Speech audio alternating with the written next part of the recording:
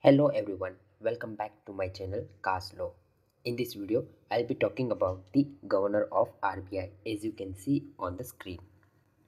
In this video, I'll be talking about the role of RBI Governor and their responsibility in light of RBI Act that is Reserve Bank of India Act 1935 particularly from the context of upcoming UPSC examination.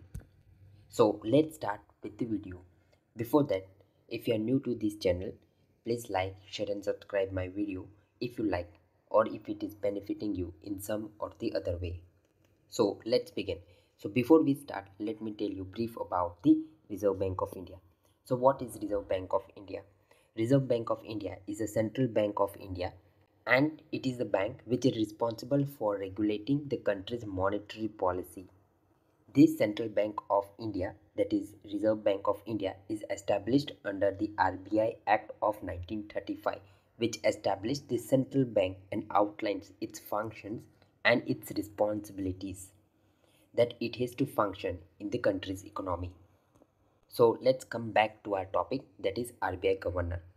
So RBI governor is the head of the institution and he is the responsible for managing the central bank's affair that is state of affair including the monetary policy and the banking regulation in the country.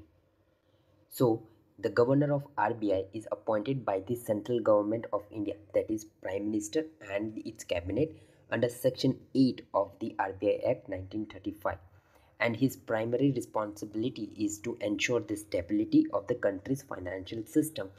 So, the present RBI governor appointed by the government of India is Shaktikanta Das, who has been appointed as the 25th governor of Reserve Bank of India.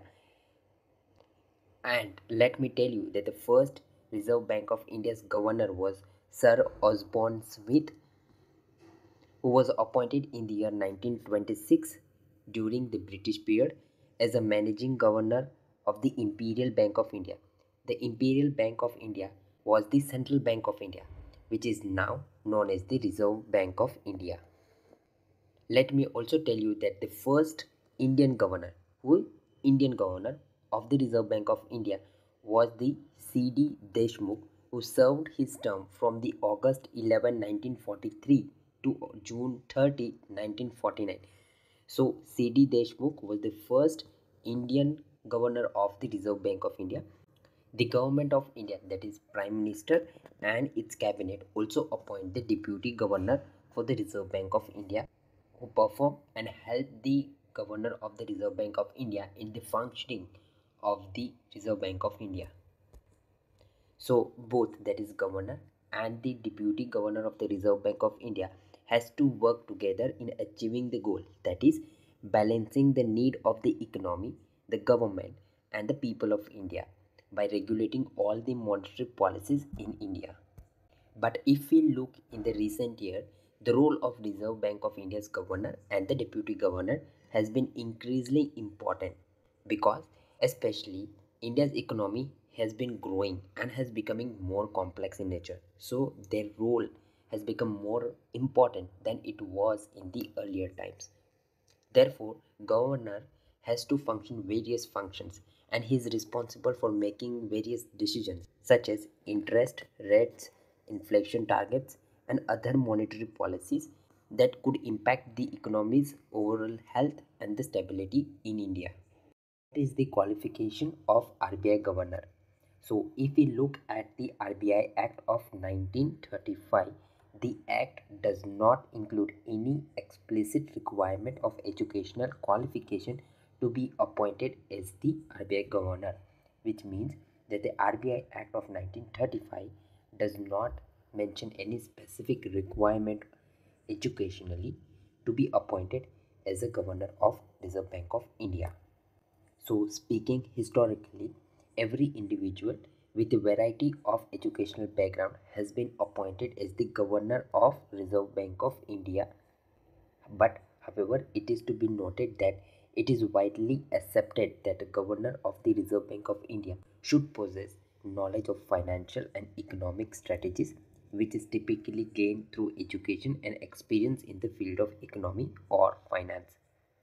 So, previous governors of the RBI have often had the background of economics or have held the position of economic affairs secretary or secretary even though belong to different or they possess different educational qualifications but they had one thing common that is economics therefore it can be said that the qualification for the RBI governor is more a matter of convention than a strict rule outlined in the RBI Act of 1935 so what is power and function of Reserve Bank of India?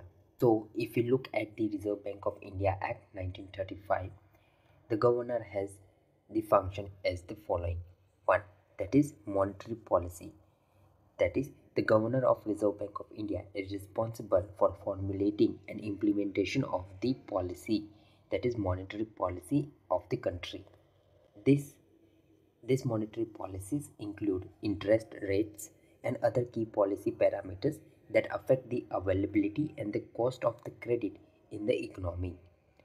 Important function or the responsibility of the governor of reserve bank of india is the financial stability the reserve bank of india's governor also has the power and responsibility to promote the financial stability in the country this also include monitoring the financial system for the potential risk and taking appropriate measures to overcome them or to mitigate them the third important function of the governor of RBI is to regulate and supervision.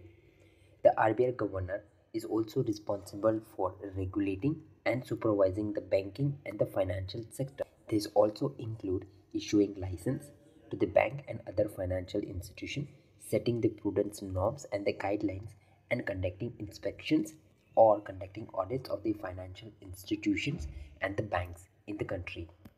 The fourth function of the Reserve Bank of India's governor is the currency management. This is the important function of the Reserve Bank of India because it is the governor of the Reserve Bank of India to manage the currency of the country.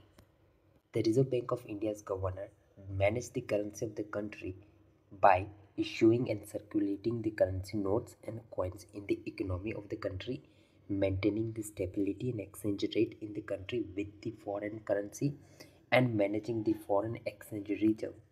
All these come under the currency management. The fifth important function of the Reserve Bank of India's governor is the representation.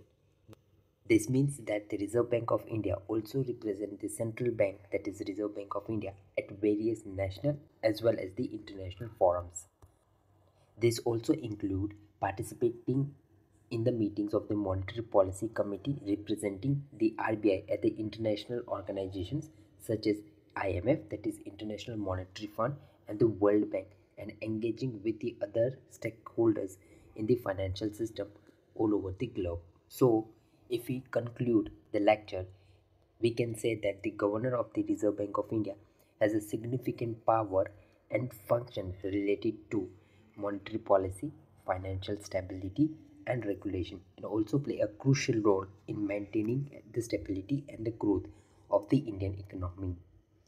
So this is all about the governor of the Reserve Bank of India. In the next video, we'll come with some other important topic related to UPSC. Till then, like, share and subscribe my channel.